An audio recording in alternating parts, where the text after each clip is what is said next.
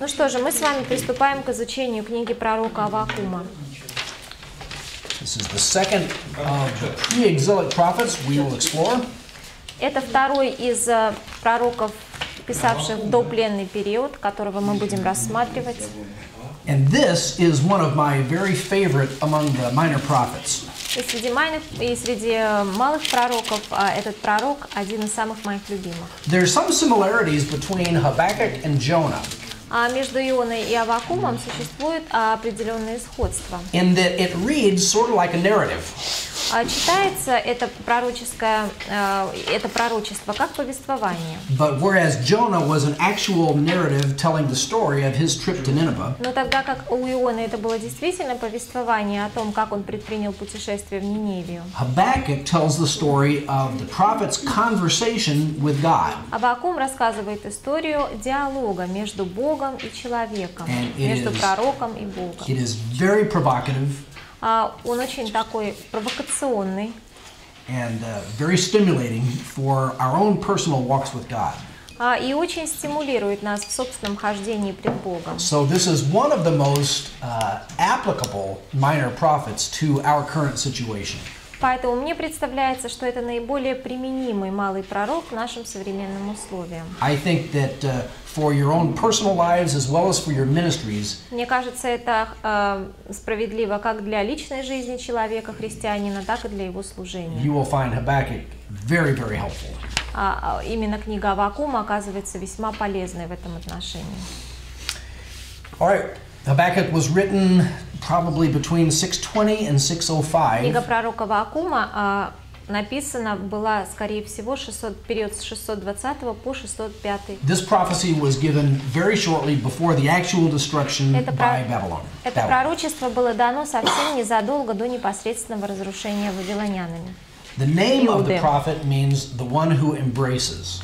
А имя пророка означает объятие или тот, кто обнимает. And what we see Habakkuk doing throughout this book is embracing God until he gets an answer. И на протяжении всей книги мы видим, что пророк как бы объе- объемлет Бога, а, пока он не получает ответ на свои вопросы.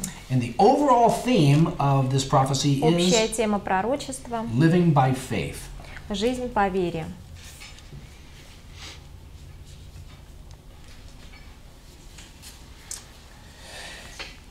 Ну, праведный верой жив будет. Праведный верой жив будет. For the righteous will live by faith. Yes, and we will certainly look at that. We know almost nothing about Habakkuk the man.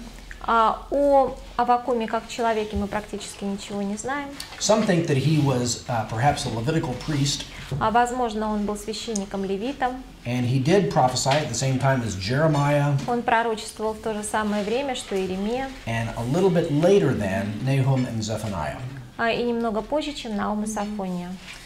And in a vision from God, И в видении от Бога Habakkuk actually saw the invasion uh, of Judah by the Babylonians. Авакум, видел а, вторжение в Иуду вавилонян. There were many other prophets who saw visions of what God was going to do in the future. И многие другие пророки также имели видение от Бога, что Бог собира- собирается совершить в будущем. And the prophecy that Habakkuk saw, the vision that Habakkuk saw, was very distressing to him. А и то, что увидел в этом видении пророк Авакум, было для него большим разочарованием. We start off in verses 1 and 2 with Habakkuk expressing his confusion. В первом и втором стихах мы читаем о смятении пророка. Let's read verses 1 and 2. Пророческое видение, которое видел пророк Авакум. «Доколе, Господи, Господи, я буду взывать, и Ты не слышишь, буду вопиять к Тебе о насилии, и Ты не спасешь».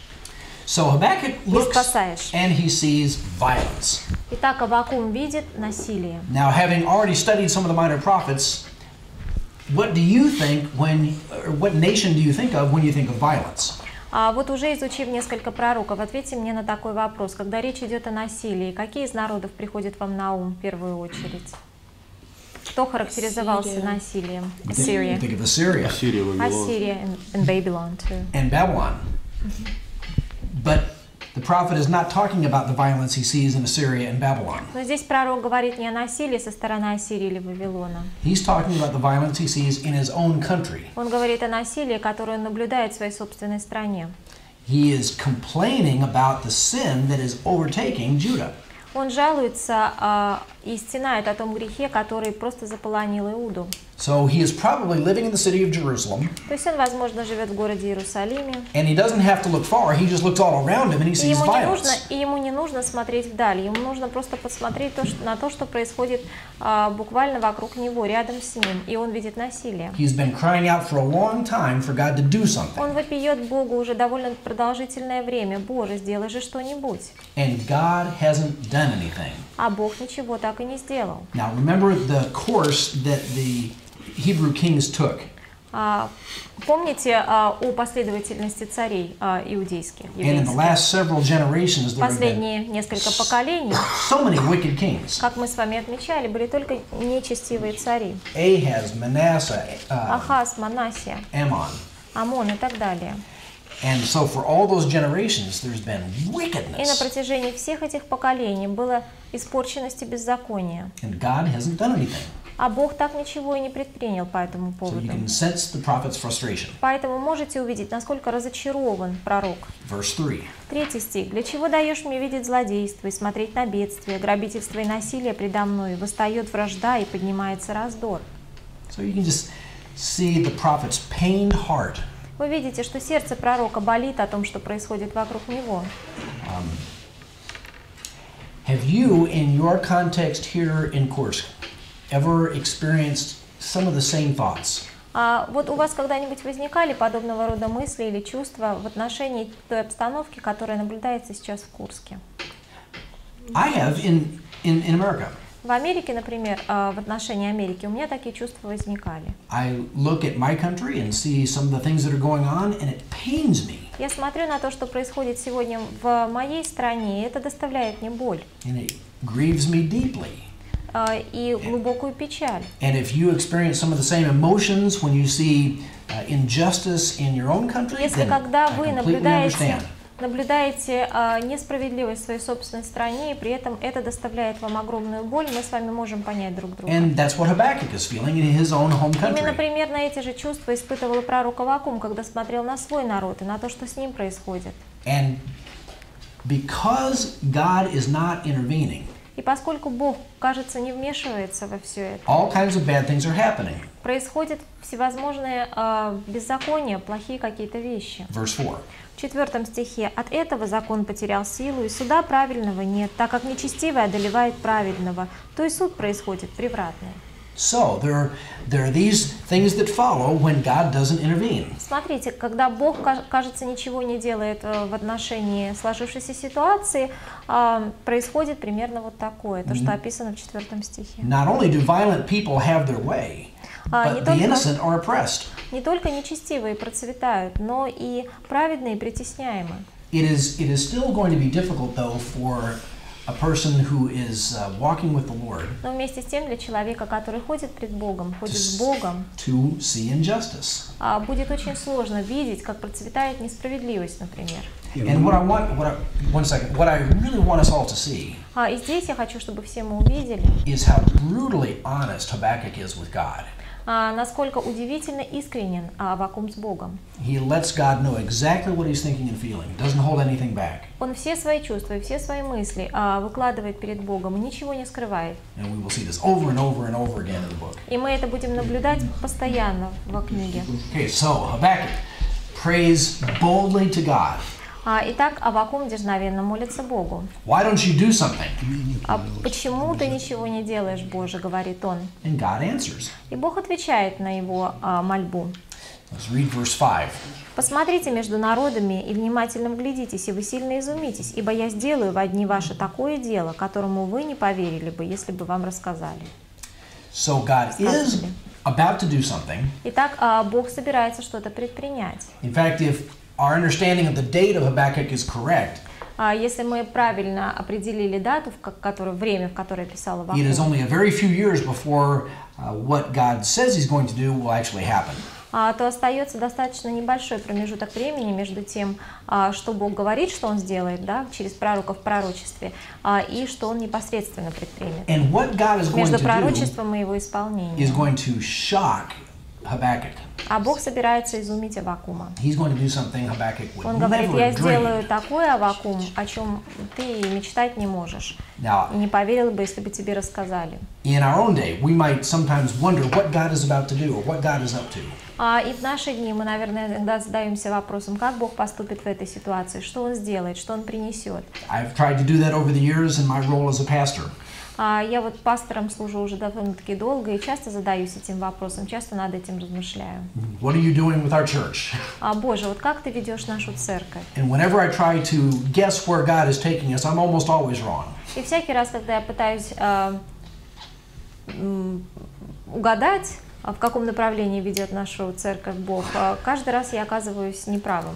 It's not easy to guess what God is doing. А, Поэтому очень сложно, хочу вам сказать, догадаться, что сейчас делает Бог. And now God tells Habakkuk what he is about to do in verse 6. А в шестом стихе Бог будет говорить Авакуму, что он собирается предпринять.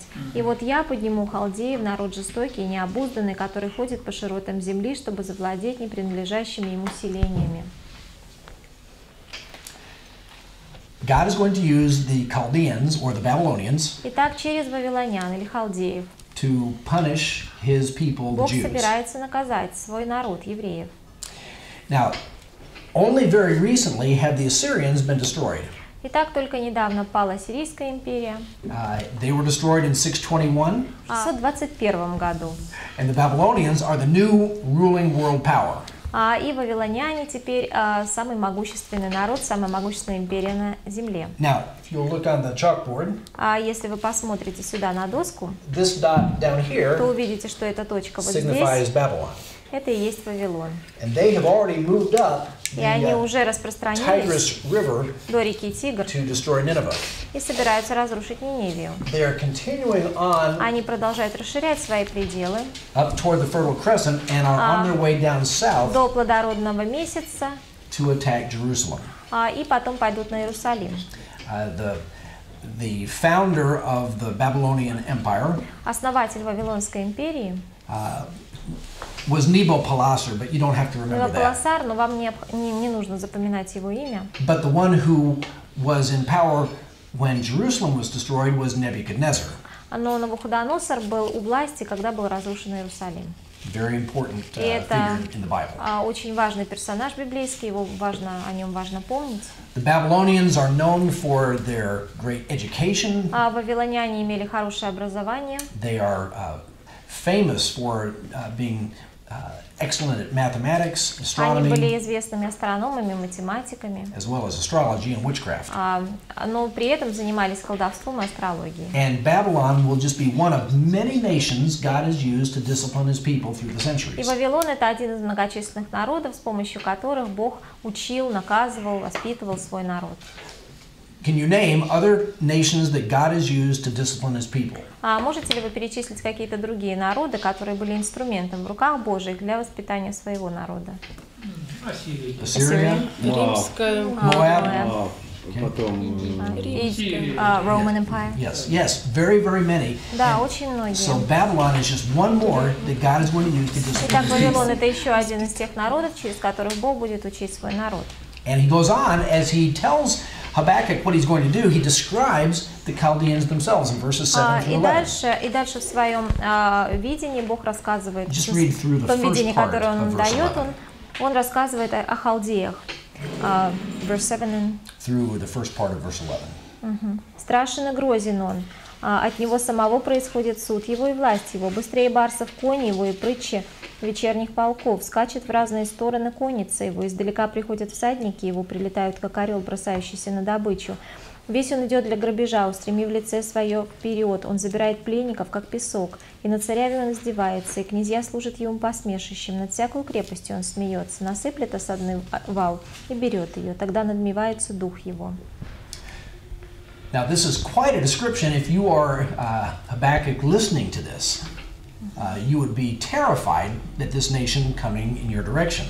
Вот если вы были, если бы вы жили во времена Авакума и были евреем, наверняка такое описание навело бы на вас ужас. Uh, the Babylonians are bent on conquest and destruction. А вавилоняне были просто а, настроены на а, заво- завоевание, на захват чужих территорий и на разрушение, опустошение земель. They are self-willed in the extreme.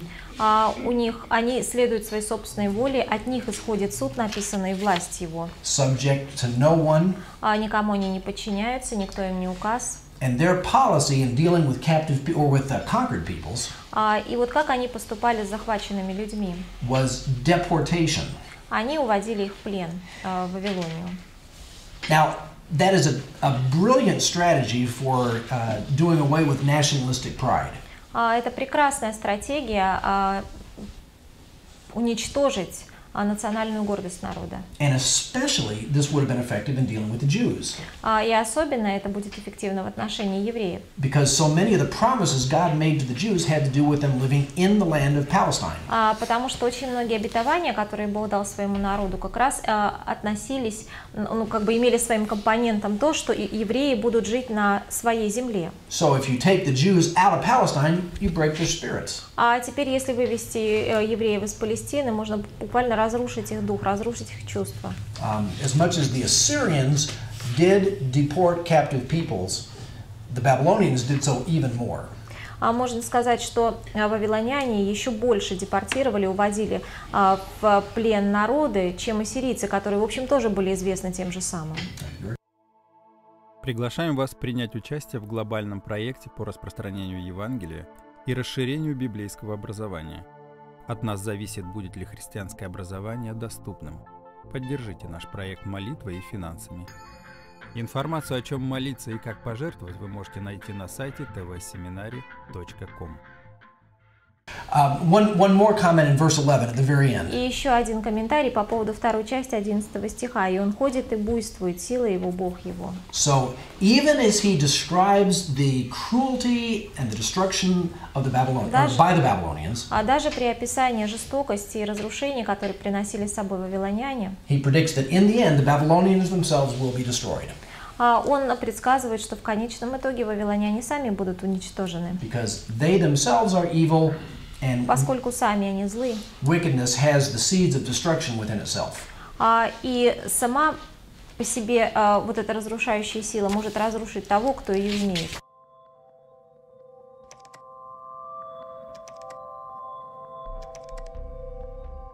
Ищите нас в поисковых системах по запросу ТВ-семинарий.